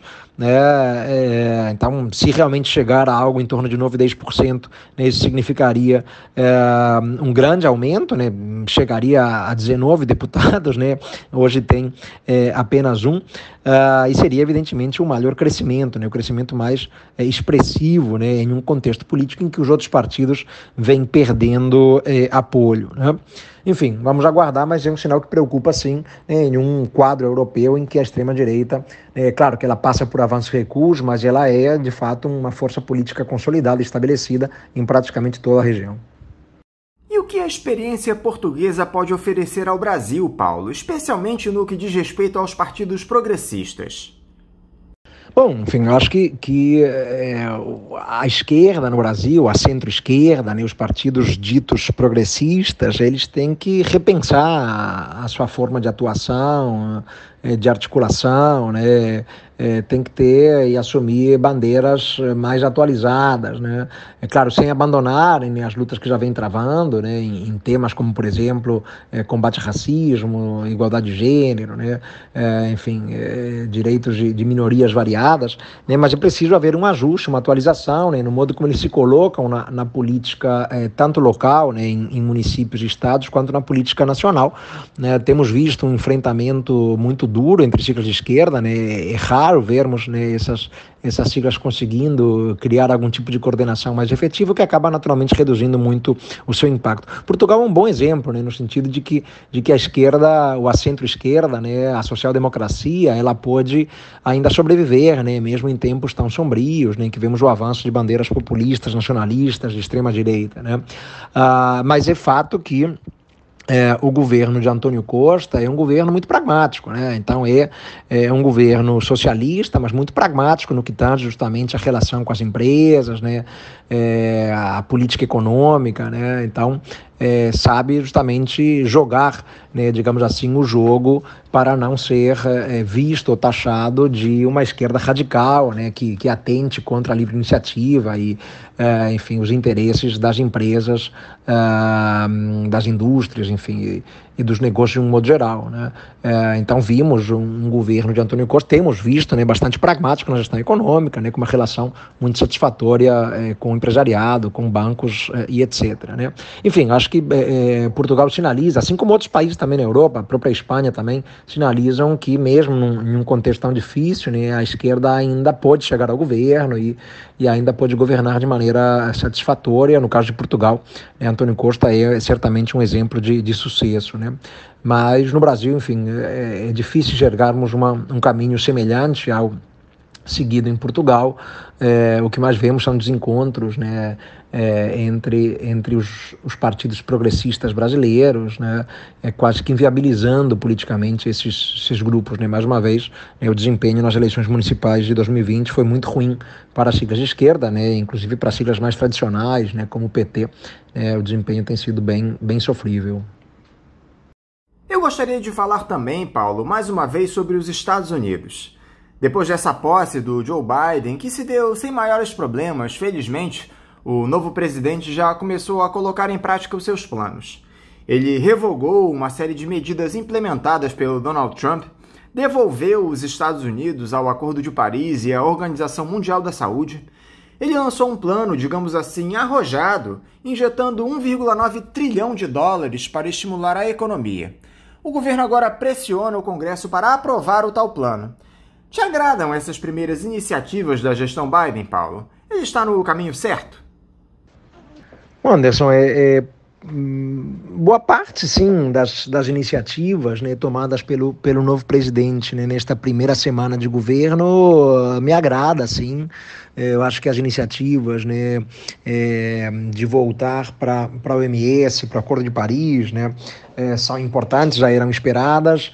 Uh, ele tem se mostrado, e desde a campanha eleitoral, comprometido né, com o combate eh, ao racismo, né, vem envidando esforços nessa, nessa direção, né, o que naturalmente é algo absolutamente importante, né? Então é, temos visto aí é, é, decretos que buscam, por exemplo, é, combater né, a discriminação nas políticas de habitação, é, justamente no sentido de, de reverter né, um, um racismo institucionalizado nos Estados Unidos, né? Ele foi taxativo ao dizer que que a hora de agir é agora mesmo, né? Que não se pode perder esse time, né? Para para combater o, o racismo no país, né? É, outras medidas me pareceram mais, mais controversas, né? Então, é, um decreto, por exemplo, assinado pelo Biden também, que visa estimular né, as compras federais de bens e produtos feitos nos Estados Unidos, né? Made in, USA, né? Uh, enfim, é uma medida que de alguma maneira parece né, acenar para antigos apoiadores de Trump, né, sobretudo em, em estados muitos, muito ligados à indústria norte-americana, né, é, que ajudaram a eleger Trump em 2016, é, como Pensilvânia, é, Wisconsin, né, e que acabaram, Michigan, né, e que acabaram agora se decantando pelo Biden, né, garantindo a, a sua vitória. Né. Então, é, esse decreto, ele parece ter um perfil mais protecionista, vai né, fazer com que o Estado norte-americano, os serviços federais, que são né, o maior comprador de bens e serviços do mundo, né, se decantem e privilegiem agora produtos feitos nos Estados Unidos. Né. Isso pode impactar negativamente em alguns parceiros comerciais americanos, né, o Canadá, por exemplo, já mostrou preocupação. Né? Ah, mas há medidas bem interessantes, né? acho que especialmente no combate ao racismo, à discriminação, né? além da questão racial ele também né, derrubou um veto a militares transgêneros. Né? Então, são iniciativas eh, que, que mostram que teremos, claro, né, um governo mais, mais voltado às tradições eh, norte-americanas, mais comprometido com as melhores tradições é, do país de respeito à democracia, né, do jogo político, né, as bandeiras que importam ao Partido Democrata né, tendem a avançar também, né, é, então acho que que há alguns pontos que são, são sim eh, auspiciosos. Claro que, enfim, é uma semana de, de governo, é muito cedo, né, mas alguns dos decretos me agradaram sim, outros né, nem tanto, né, como esse relativo à compra de produtos feitos nos Estados Unidos, né, mas eh, o caminho, enfim, a, ainda é, é, longo, vamos ver como é que ele, ele se desempenha. Com relação né, a esse pacote econômico né, de 1,9 trilhões de dólares, não é fácil. Né? É, vale dizer que alguns republicanos né, já claramente né, se mostraram contrários né, a um pacote tão generoso, né, entendendo que ele pode impactar né, negativamente nas contas, né? É, um, um, valor tão alto já foi eh, claramente rejeitado por alguns nomes importantes no Partido Republicano. Né? É, o líder da maioria é, democrata, o Chuck Schumer, né, ele já foi taxativo no sentido de dizer que teremos que esperar um tempo ainda, né, possivelmente de quatro a seis semanas, para ver esse, esse pacote poder avançar e, e ter algum tipo de, de êxito aí. Vamos ver né, como é que evolui essa negociação. Por falar em Congresso, Paulo, o Senado dos Estados Unidos deve votar em breve aquele impeachment do Donald Trump, que foi aprovado pela Câmara antes do fim do mandato do ex-presidente. Só que, ao que parece, os senadores dificilmente vão condenar o magnata, que ficaria livre de sanções relativas à possibilidade de voltar a concorrer à presidência em 2024. Um grupo de parlamentares republicanos ainda tentava suspender o processo. Você acredita que o Donald Trump se livra dessa, Paulo, mesmo depois de ter liderado aquela insurreição contra o Capitólio? Anderson, o, o processo de impeachment agora no, no Senado, né, é, dificilmente vai, vai condenar o, o, Trump, né? Isso já era sabido, né? Porque é, os democratas é, têm uma maioria muito estreita, né? na verdade, eles só têm a maioria contando com os dois independentes no Senado, né? E com o voto de Minerva da Kamala Harris. Uh, e para se aprovar o impeachment no Senado são necessários dois terços de votos, né? o que significa dizer que eles teriam que contar com o apoio de 17 senadores republicanos. Muito dificilmente isso vai acontecer. Né? É praticamente impossível, teria que haver uma grande reviravolta, enfim, para que se acontecesse algo nesse sentido. Então é muito, muito improvável né, que tenhamos o impeachment sendo aprovado pelo, pelo Senado, o que significa assim né, que o Trump vai, vai se livrar, vai se livrar dessa. Mas já há um simbolismo muito expressivo, né? Ele é o primeiro presidente dos Estados Unidos a enfrentar dois processos de impeachment, né? O, o, processo de impeachment, né? Continuando mesmo após ele deixar a Casa Branca, enfim, né? há um há todo um simbolismo, né? Acho que o, o recado político é no sentido de que excessos institucionais, abusos como os que vimos durante o seu governo não serão tolerados, né? A simples abertura do processo de um segundo processo de encaminhamento para o Senado, né? E mesmo que a votação não chegue ao número necessário para condená-lo, né? Isso já é um recado e um sinal político, né? Tem um um papel simbólico, um valor simbólico muito interessante. Né? E com relação né, à sua desqualificação, para ele não poder concorrer, isso seria feito numa outra votação, né, só depois de aprovado o impeachment. Né? Então, é, é, enfim, como o impeachment dificilmente será aprovado, não, não veremos essa desqualificação, e o, o que significa dizer que ele poderia, assim, né, concorrer às eleições de 2024, eventualmente se tivesse interesse. Né? Mas, para o seu legado político, né, o impeachment certamente significa um, um arranhão Uh, e vale lembrar que o processo passou pela Câmara, contando inclusive com o apoio de deputados republicanos, né? Uh, o que não deixa de ser algo interessante, um sinal de que dentro de seu partido também há nomes que, que se opuseram firmemente àquilo que aquelas cenas terríveis que vimos quando da invasão do Capitólio, né? É, invasores incitados claramente pelo Trump. Anderson. Voltando a falar do atual presidente dos Estados Unidos, Paulo, o Joe Biden já teve a sua primeira conversa com o russo Vladimir Putin por telefone. Eles falaram sobre a prisão do ativista de oposição Alexei Navalny na semana passada, quando ele desembarcou em Moscou. Dialogaram também sobre a situação da disputa entre russos e ucranianos pelo controle territorial na Crimeia, bem como sobre a extensão do acordo nuclear chamado de Novo START para os próximos cinco anos. Parece que essa relação entre o Biden e o Putin seguirá em banho-maria. Você vê alguma possibilidade de recrudescimento dos ânimos entre esses dois? Anderson, é, é, sem dúvida o, telefonema entre o, o, Biden e o Putin, especialmente né, o acerto, o entendimento né, para a prorrogação do novo START, é, podem ser vistos como algo muito positivo. Né? Uh, é, corria-se o risco de não se ver o, o novo START prorrogado, né? o, o, Trump vinha criando entraves, né? exigindo é, a participação, por exemplo, da China né? de, um, de um acerto é, para a prorrogação do, do novo START. É, e isso poderia comprometer a vigência de um tratado que, na verdade, é a sequência de uma série de, de tratados é, na temática nuclear entre Estados Unidos e Rússia desde o fim da Guerra Fria. Então, eu enxergo como algo muito positivo né, esse tratado é, prorrogado. Uh, mas as relações entre Estados Unidos e Rússia é, não serão relações muito amistosas ou cooperativas durante o governo Biden. Né? O Biden, né, ele já afirmou em alguns momentos né, que enxerga a Rússia como uma das principais ameaças estratégicas para os Estados Unidos. Né? Uh, e durante o telefonema mesmo, né, ele, ele tocou em pontos muito polêmicos, né, muito controversos, né? citou a questão da Crimeia, a soberania da Crimeia, a questão da anexação, a, a, a, soberania da Ucrânia, perdão, né, a questão da anexação da Crimeia, né, esse é um tema naturalmente sensível para Moscou, é, falou dos, é, de cyberataques, né, é, tocou no, no, ponto também muito polêmico né, de um suposto apoio né, e recompensa oferecida pelos russos né, aos talibãs para matarem soldados americanos, enfim, então o que não faltam são, são temas de desencontro né, entre Estados Unidos e, e Rússia. E o Biden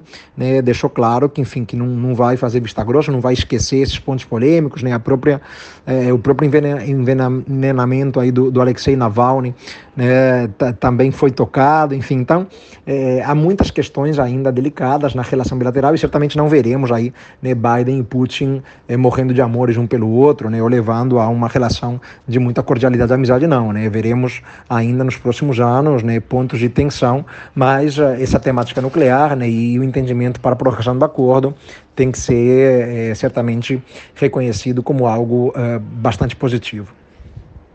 Eu não posso terminar essa entrevista, Paulo, sem comentar com você a situação da política externa brasileira.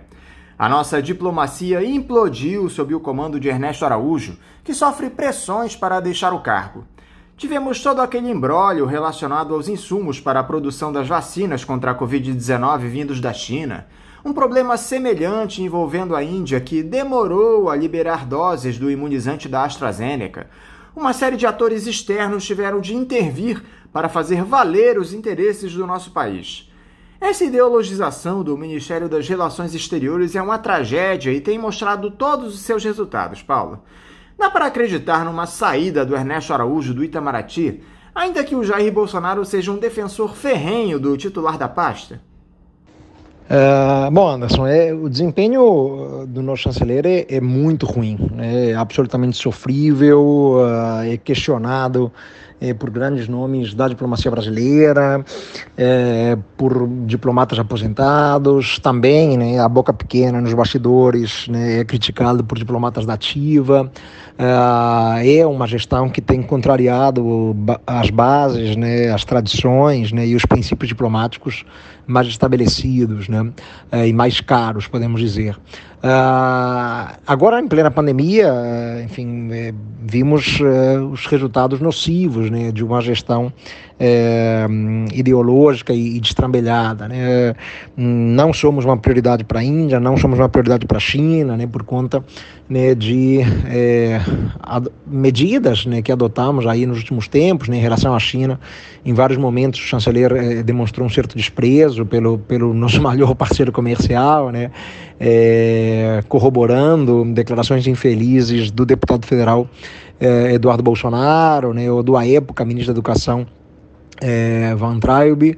É, então vemos é, desacertos é, muito severos na, na, relação com um parceiro que para nós é absolutamente estratégico. Né? Com relação à Índia também, né? vimos é, o Brasil é, ir na contramão de, de suas tradições e, e, da postura assumida em outros momentos, né? e não apoiamos né, a, as pretensões indianas de é, quebra de patentes né, e liberação de, de patentes é, no caso das vacinas de combate à, à Covid-19. Né? É, o que é algo que, enfim, não faz muito sentido, né, quando o Brasil, em outros momentos, foi um dos principais atores na defesa de quebra de patentes. Né? Enfim, então, claro que isso acaba criando um constrangimento na relação entre o Brasil e a China, o Brasil e a Índia.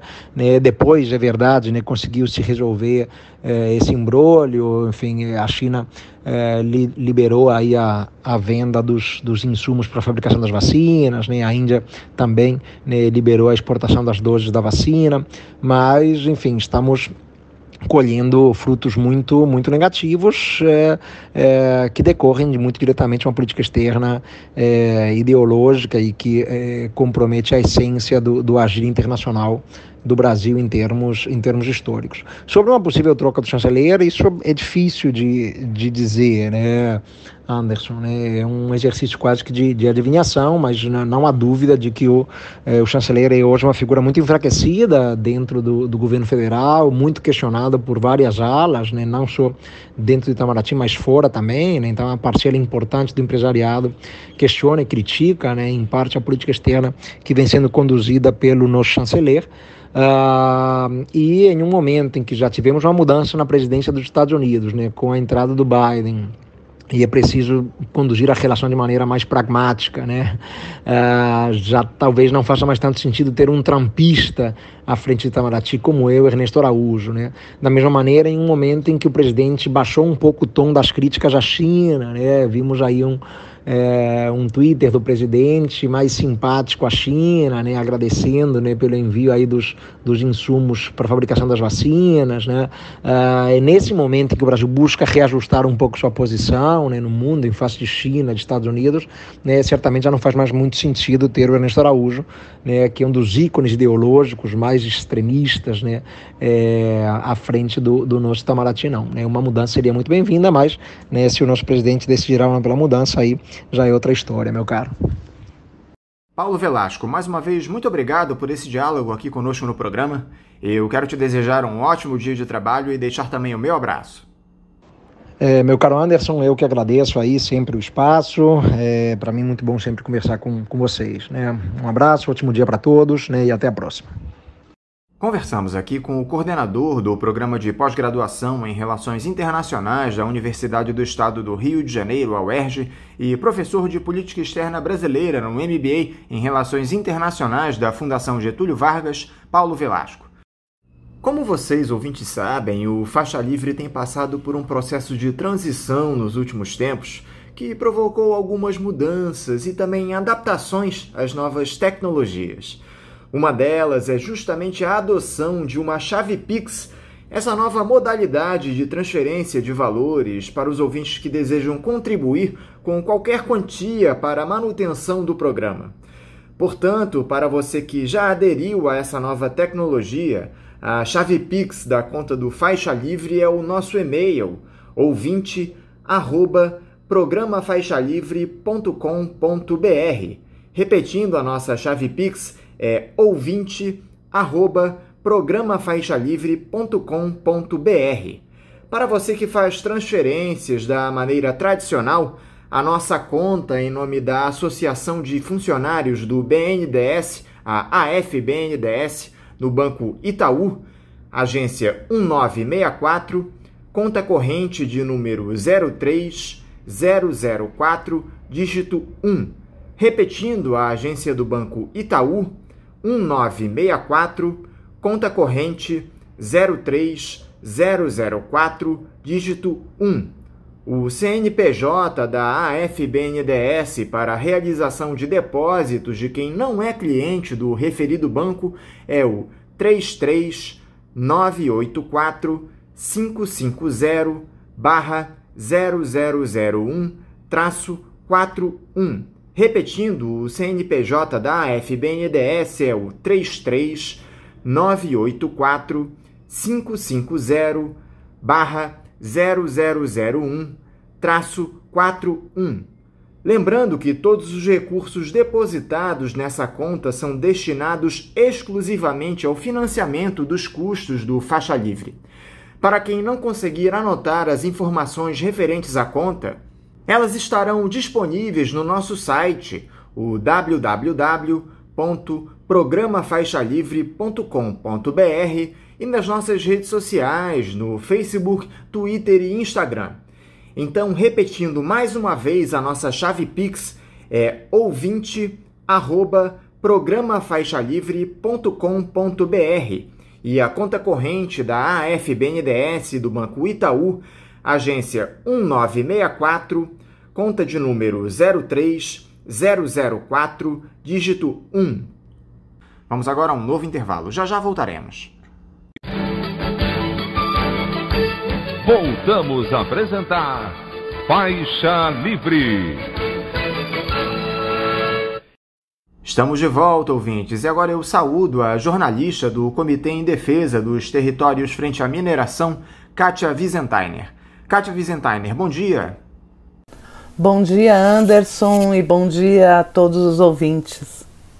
Kátia, muito obrigado por você mais uma vez dialogar conosco aqui no Faixa Livre. Kátia, na última segunda-feira nós completamos dois anos da tragédia em Brumadinho. O rompimento da barragem da mina de Córrego do Feijão, de propriedade da Vale, provocou um rastro de destruição, causando a morte de 270 pessoas, nesse que foi o maior desastre humano por conta do rompimento de uma barragem no país. Como é que anda o cenário em Brumadinho 24 meses depois, Kátia? A cidade se recuperou desse caos? Segunda-feira foi um dia muito triste quando relembramos dois anos do crime da Vale em Brumadinho, né? O crime aconteceu dia 25 de janeiro de 2019, ao meio-dia, 28 minutos e 25 segundos de uma sexta-feira. A parte inferior da barragem B1 do córrego do Feijão rompeu e liberou uma avalanche devastadora de rejeitos de mineração. Né? Uh, é muito louco a gente pensar que esse crime da Vale ele aconteceu em três minutos. Em três minutos, tudo que estava abaixo da barragem da Vale foi completamente engolido pela lama, que chegou a atingir 70 km por hora e destruiu tudo pela frente. Em três minutos, 272 pessoas foram assassinadas. A gente fala 272 porque duas mulheres que morreram nessa tragédia estavam grávidas uh, morreram sufocados pela lama de rejeitos da Vale. Era uma barragem gigante, né, sustentada por uma encosta de 86 metros de altura, que equivaleria mais ou menos a três vezes a estátua do Cristo Redentor, uh, e armazenava quase 12 milhões de metros cúbicos de rejeitos de minério. Os especialistas explicaram ao longo de diversos debates, desde o rompimento da barragem e a partir das, dos documentos que foram vindo à tona, que a estrutura não estava mais em atividade e servia para guardar toneladas de minério das minas do Feijão e Jangada. Os laudos apontaram que se tratava de uma bomba relógio, que poderia explodir a qualquer momento. O centro administrativo da Vale e o restaurante ficavam abaixo dessa barragem. E em menos de um minuto, a onda de rejeitos pelo rompimento da barragem atingiu essas áreas e assim a Vale matou 250 dos seus funcionários diretos e terceirizados. Dos que tiveram seus entes assassinados pela Vale, 11 famílias ainda não puderam velar os seus mortos. Até hoje, os corpos não foram encontrados e essas pessoas com, não fecham esse ciclo, né? Que acompanham desde o dia 25 de janeiro de 2019. O desastre da Vale em Brumadinho é um dos maiores acidentes de trabalho ampliado do mundo, que matou 272 pessoas e causou uma tragédia ambiental gigantesca. A bacia do Paraupeba foi também fortemente atingido. O que a gente sentiu, né, uh, agora no último dia 25, quando relembram uh, dois anos da tragédia, é que a cidade ainda segue enlutada, né? Embora ela ainda segue o seu luto, né? Ela ainda tem que brigar, né? E lutar para que a garantia dos seus direitos seja resguardada, né? Porque a Vale tenta a todo custo uh, leiloar o que vai pagar, né? Num sentido de pagar o mínimo possível. Essa é a situação. Quais foram os impactos que esse crime cometido pela Vale provocou, Kátia, tanto os ambientais como os sociais? Sem dúvida nenhuma, a coisa mais grave foi a morte dessas 272 pessoas. Depois disso, eu acho que vem o crime ambiental que a Vale cometeu em Brumadinho, né? Uh, porque esses 12 milhões de rejeitos, 12 milhões de metros cúbicos de rejeito despejados com o rompimento da barragem, eles atingiram a calha do, do, do rio Paraupeba, uh, que magia várias propriedades rurais, e chegou a bacia do Paraupeba, né? Uh, então o fornecimento de água ficou super comprometido, né? Então você tem hoje uh, o fornecimento de água depende de caminhões pipas para 16 comunidades situadas em Brumadinho e cidades vizinhas e ainda tem uma grande parte de produtores rurais que brigam, tá, para também serem incluídos nisso, né? É, essa, esse abastecimento por caminhões pipas é feito pela Vale, né, por ordem do Ministério Público, já que a captação direta no trecho do rio mais poluído pelos rejeitos da mineração continua proibida pelo IGAN, né, que é o Instituto Mineiro de Gestão das Águas. Né, uh, e essas propriedades e moradores né, ficam na dependência da Vale. Né, e criticam a falta de abastecimento por parte da empresa, que foi condenada a abastecer a população afetada. E eu acho que também as lutas, né, o processo de reparação poderia ser muito mais ágil, né, uh, mas é muito lento. O que a Vale fez até agora para minimizar todos os prejuízos provocados ao meio ambiente e às famílias? Depois de dois anos, a empresa tem agido de maneira minimamente digna para ressarcir os envolvidos, Kátia? Bom, Anderson, o que a Vale mais tem feito é propaganda. Né? Ela tem investido milhões, bilhões em mídia para dizer que reparou, que fez, que aconteceu. Né? E muitas das coisas que você vê em propaganda, na realidade, não é exatamente aquilo, né? Então ela fala: estamos recuperando o córrego do feijão, né? O córrego Ferros, né? Aí quando você vai lá, ela colocou uma máquina, fez um vídeo, mas não descontaminou, não despoluiu ainda, né? Então muita coisa que ela iniciou, ela vende como se ela tivesse feito tudo aquilo, né? Na verdade, uh, ela fez algumas coisas, né? Mas ela fez estritamente o que o Ministério Público uh, obrigou a fazer, né? Então, algumas indenizações foram pagas individualmente. Esse acordo de vítima está sendo feito de forma individual. Ela foi obrigada a pagar um auxílio emergencial uh, para toda uma série de pessoas atingidas, né? Uh, são muitas pessoas, quase na cidade toda. Uh, e ela tenta agora parar com esse auxílio emergencial agora em abril, né? Uh, mas muita coisa há por fazer. Então ela tenta não cumprir. A mesma questão das, da água que eu falei anteriormente, que ela tem que entregar água, então um dia ela entrega, no outro dia ela não entrega, né? Uh, em janeiro de 2020, o Ministério Público indiciou 16 pessoas e as empresas Vale SA e Atude Sud, alemã, por homicídio doloso dessas 270, 270 pessoas. Né? Passado um ano do indiciamento, até agora ninguém foi preso. Né? O governo de Minas Gerais negocia indenização ao Estado de Minas pela mineradora Vale. Os atingidos foram deixados de fora dessas negociações. Né? Então, é uma negociação que está acontecendo entre o governo e a mineradora. Os atingidos não, não foram ouvidos e não participam dessas negociações. No último dia 21, aconteceu a quarta audiência, que terminou sem acordo. O secretário-geral do governo mineiro disse que a empresa agiu como se estivesse em um leilão a mineradora Vale tem uma semana para apresentar uma nova proposta de valor para as indenizações. Né? Então, na verdade, o que a gente vê é que existe uma impunidade. Né? O Brasil é o país com o maior número de mortes nesse tipo de acidente, somando-se a outros dois desastres com perdas humanas ou graves danos ambientais, como o rompimento da barragem da Herculano Mineração em Itabirito em 2014, que teve três mortos, e o rompimento da barragem Mariana 2015, com 20 mortos. Uh, na verdade, o que a gente busca é a reparação total, né? O que a gente entende é que ela tem que reparar o Estado, ela tem que reparar danos morais que os atingidos têm sim o direito de participar dessas negociações, porque a vida deles que está em jogo, a vida da cidade deles que está em jogo, né?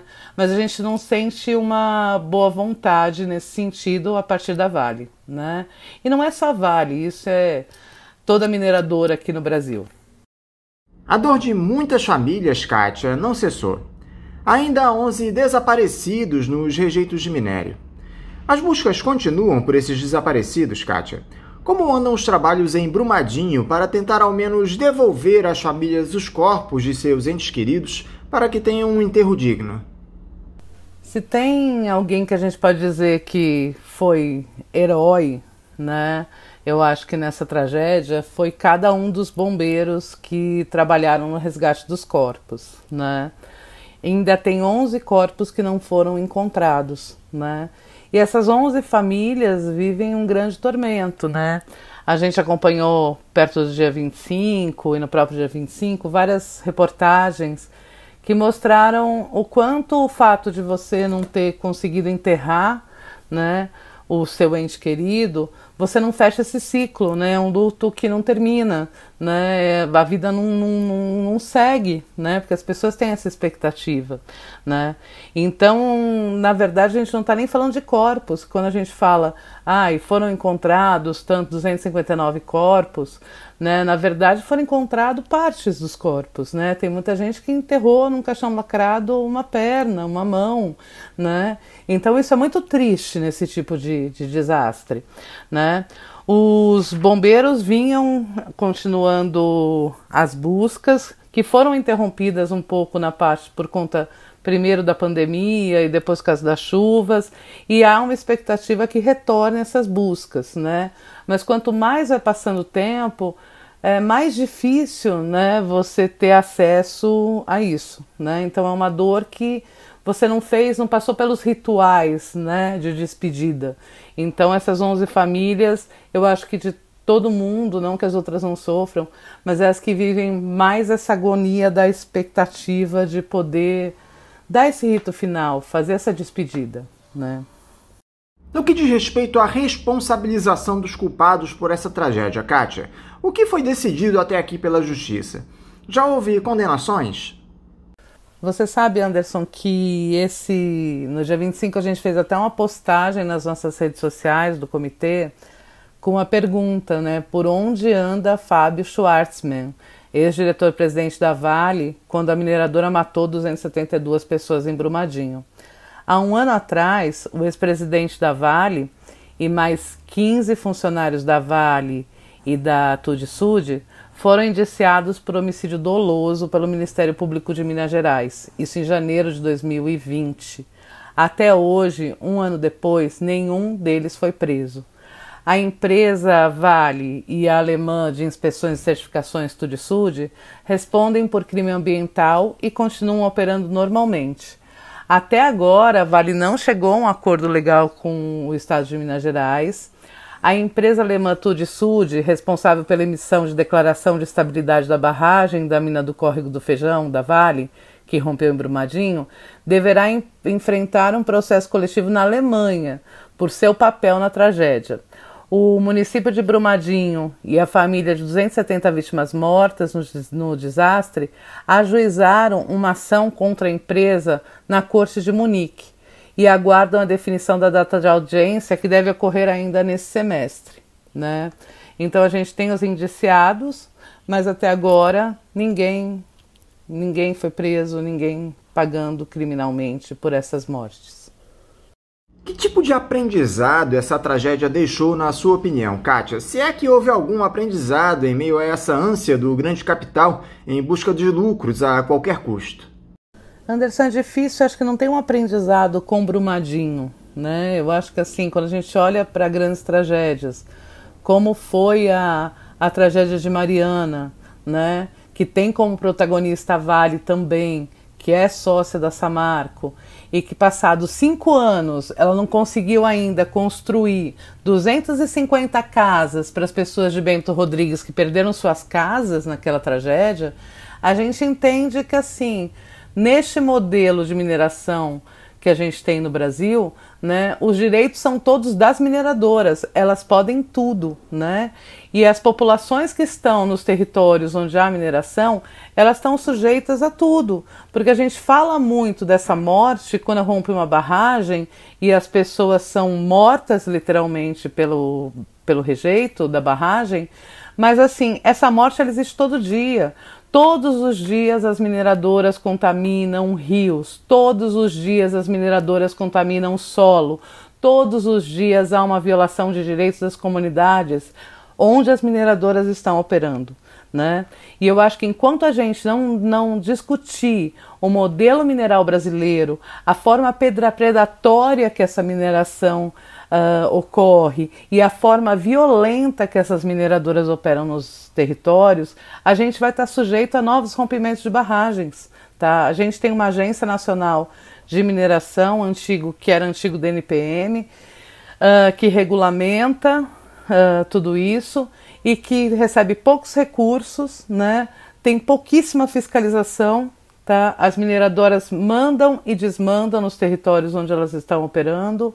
Existe ainda um sistema de autofiscalização, automonitoramento, onde essas mineradoras contratam empresas para dar certificação, como no caso de Brumadinho, que a Tudisud foi contratada e certificou que aquela barragem ela estava estável, né? E três meses depois a barragem rompeu, né? Então acho que a grande discussão tem que ser que modelo de mineração que a gente pode suportar no Brasil, né? Que modelo de mineração pode incluir todo mundo que está naqueles territórios, tá? Porque muitas vezes a comunidade já existia, a comunidade chegou lá antes e chega uma mineradora e destrói tudo, né?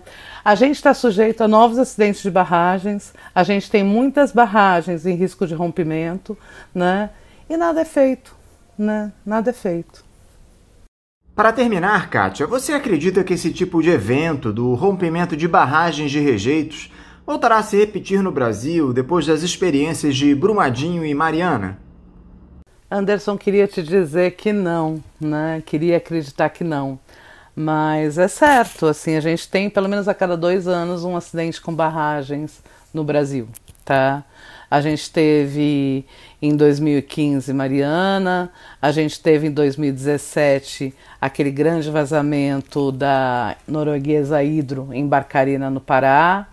Uh, a gente teve em 2019 uh, essa tragédia em Brumadinho, né? Enquanto não se mudar a estrutura da forma que se minera, a gente está assim sujeito, né? E a gente vê muitas vezes, a gente teve vários casos que não chegaram a ter rompimentos, mas de, de Brumadinho para cá, a gente teve várias cidades, não sei se você se lembra, que tem pessoas fora das suas cidades que foram retiradas com risco de rompimento de barragem. Minas Gerais, a quantidade de barragens que tem em Minas Gerais, Minas Gerais ela está inteirinha sujeita, aquele quadrilátero ferrífero tem, sabe, centenas de barragens, né? Então, infelizmente, eu acho que a gente está sujeito sim a novos rompimentos, né? É uma pena. Kátia Wiesentheimer, muito obrigado por você estar aqui conosco no Faixa Livre. Eu te desejo um ótimo dia de trabalho e deixo aqui também o meu abraço. Eu que agradeço em nome do Comitê Nacional em Defesa dos Territórios Frente à Mineração por esse espaço, essa conversa. O programa já abriu várias vezes espaço para a gente debater e explicar o que está acontecendo na mineração. Uh, e convido também todos os ouvintes a seguir a gente nas nossas redes uh, em Defesa dos Territórios Frente à Mineração e também no site em defesadosterritórios.org. É um abraço para você, para toda a equipe e para os ouvintes. Até!